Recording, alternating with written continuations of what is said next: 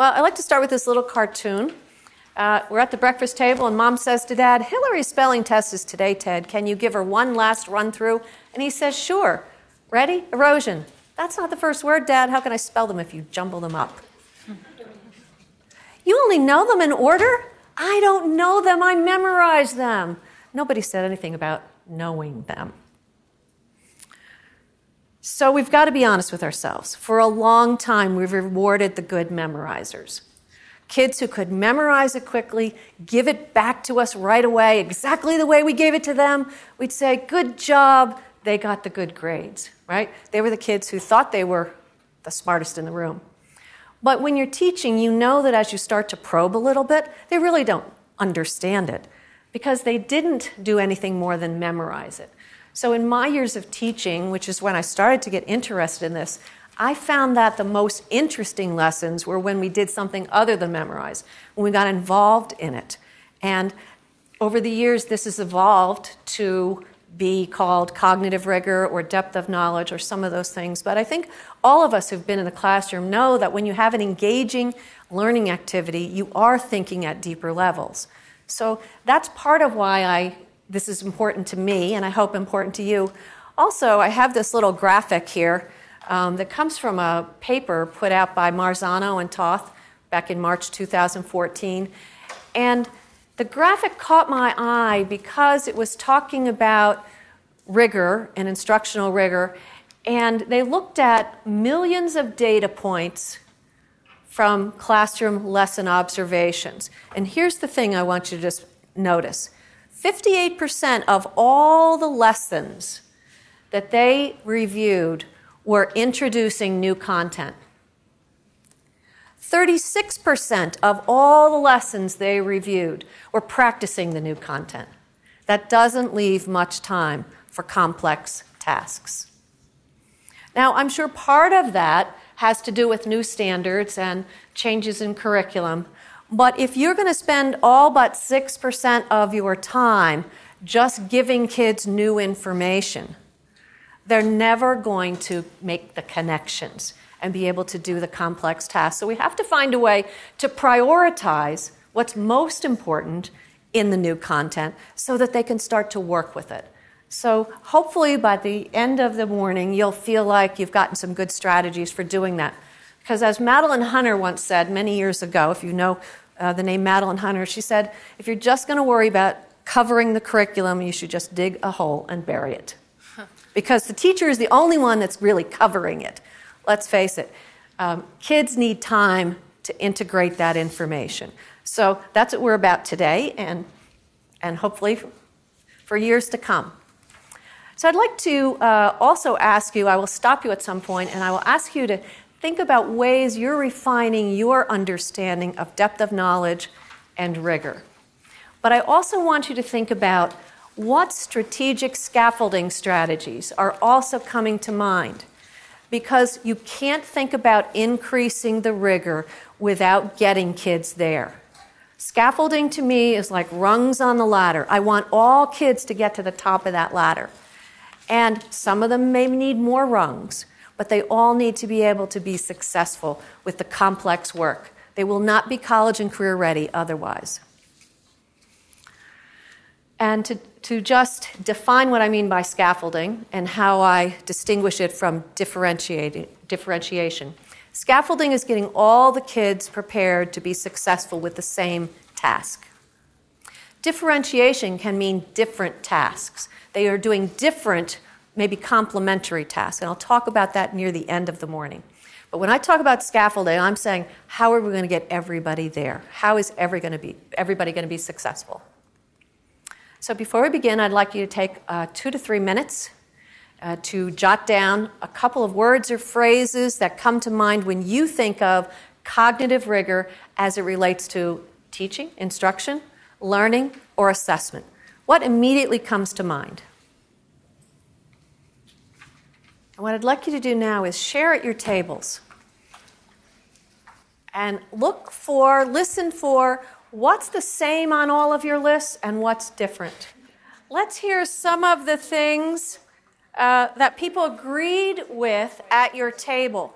If you would, if uh, when I ask you, I'm going to give you a mic just so you know everybody can hear in the room. Um, so let's start with this table right here. Something you all agreed on. Who, who wants to be the spokesperson? Thank you. Um, so all of us agreed that um, to have cognitive rigor in anything that we ask the students to do, it's going to definitely take a lot of time, not only on uh, teacher prep to get them there, or, but also uh, student involvement. Okay, time is almost the always one of the first things that comes up on the list because you know to do anything well, you have to allow the time. And that's when people get stressed out because they say, But I have so much to cover, right? How about something from this table? You willing to share? Thank you. Yeah, we were, we all agreed that um, we need to be able to transfer that information, cross-curricular transfer, so they're not just using that in one subject, they're using it in others and they're taking it deeper. Great. Transfer almost always comes up in these discussions. And I like to use the metaphor that I heard many, many years ago Grant Wiggins shared in a workshop. He said, Coming to school is like being on the team. You get to come to practice every day and do the drills but you don't get to play very many games. When you play the game, that's transfer. That's when you figure out when to dribble, when to pass, when to shoot, when is it going to work in a game situation. You're making decisions on your feet. As a matter of fact, he tells a very funny, he used to tell a very funny story about coaching his daughter's soccer team when she was in middle school. And he said he's standing on the sidelines, and they're not doing anything that they did in practice. And he's yelling to one of the players. He says, Stephanie, look for the open man, give and go, like we did in practice. And she turns around and puts her hands on her hips and says, They're not lining up like they did in practice. Right? Sometimes we're not giving them opportunities to transfer before they get to the game at the end. So, in between the, pre- the drills and the game are the scrimmages, right? How's a scrimmage different from a game? How is a scrimmage different? There's coaching interaction. You can stop and say, What just happened here? Let's look at where everybody is. What could we do next? You think, you just sort of do a think aloud in the moment. How else is a scrimmage different? It might be scripted. You have a certain plan, something you want to accomplish. You were going to say something as well? They're playing against their own players. They're playing against their own players. Okay? It's not a real game, it doesn't count. There's no score. It's formative assessment, right? The best kind of formative assessment is when you start to put the skills together and practice it. So I like to challenge teachers to look at a unit plan and say, where are my drills? Where are my games? And where are the scrimmages? Because if you don't have any scrimmages, they're not ready for the game. Often the scrimmages have a lot of scaffolding to prepare them for the game. So we'll kind of continue to come back to that idea of what kind of scaffolding helps kids to practice integrating those skills. How about another example? How about from this table? Something you all agreed on? She's saying, Do I have to take the mic? Uh, we talked about how there there needs to be proof in their logic and engagement, um, asking why. Okay, say a little bit more about proof. What did you mean by that? Well, I can. You can. You have a whole table here, so they can help you. We want to add to that. I I would say um, proof in their logic is just being able to use some examples and use different resources to come together with their ideas, how they came up with those ideas, and showing um, showing some evidence of their thinking. Okay, so evidence of thinking changes by content area, right? If it's a math problem, the evidence becomes the calculations, the diagrams, the graphs, the tables, the equations, the explanations, the words that go with it. That's very different evidence from when they're doing reading or maybe when they're doing science, when they're looking at their measurements becomes their evidence. So we have to teach kids that in each content area, where to find the evidence. And if we ask good questions, we're pointing them in the right direction, but sometimes we don't help them so much. We just ask a big, wide open question and then they're a little confused. Good. And you said engagement. How many people had engagement? I assume that probably came up at many tables. Engagement. Um, how about, I'm going to squeeze back here. How about this table here? Something else you might have had in common at your table. Thank you, sir. You're welcome. um, we talked about giving them the, the wait time needed so that they feel that they have enough time to process the information and then be able to work together as groups, um, like we're doing now, sharing it with our shore partner so that they can learn from others as well as from themselves. Yeah, you said uh, quite a few, several different things, so let me unpack it a little bit. You said working together. Here's what we know about the research with working together you don't need to be a good cooperator to be successful in college, but you do need it to be successful in the workplace, in life. So it's a skill we want kids to develop over time. What's most important about group work is you can learn more and you can learn more quickly when you learn together. So, putting kids into groups to do low level tasks is not really the idea behind this. It's putting them together and letting them struggle together and feel the sense of accomplishment of working together like a team. And that involves that engagement, that wait time, that processing time. Because let's be honest, teachers kind of like to jump in. We feel like we've got to save them sometimes. And maybe all they need is a hint to keep them moving. They don't need us to do all the thinking. When I say who's working hardest in your classroom, sometimes the teacher's doing all the thinking for them. But some, we have to be willing to step back and be more of a coach and let them do that struggle. Would you mind passing that over to this table next to you? Maybe share something from that table? Um, one idea that we had was working smarter, not harder.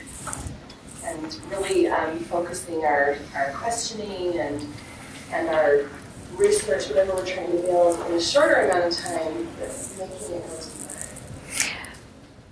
What would be an example of that? Can anybody at your table or any table, what would be an example of how you might work smarter but not harder? What comes to mind in an elementary classroom? Worksheets. worksheets. Say a little bit more about worksheets. Number of problems doing the same thing. Okay, the number of problems. Guilty. When I started teaching, I came into a, a classroom and all that stuff was there waiting for me. So I used it.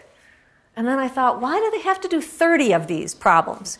Maybe they could do fewer and do more with it.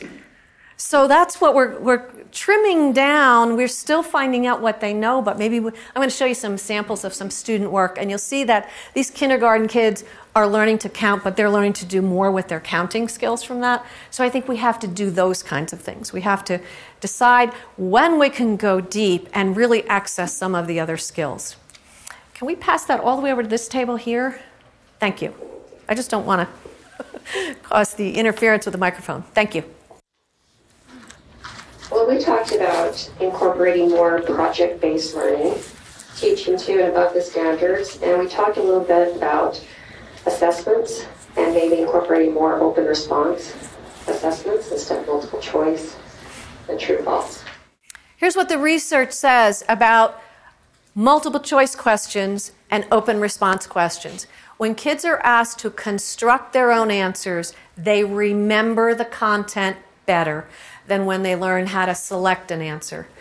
Because when they are selecting an answer, they're recalling something that looks familiar. But when they actually have to create it with words, with explanations, they're going to be more engaged with the content and remember it better. So even though we know there are going to be assessments where they have to learn to select an answer, we have to teach them to think about why they're selecting the answers they're selecting.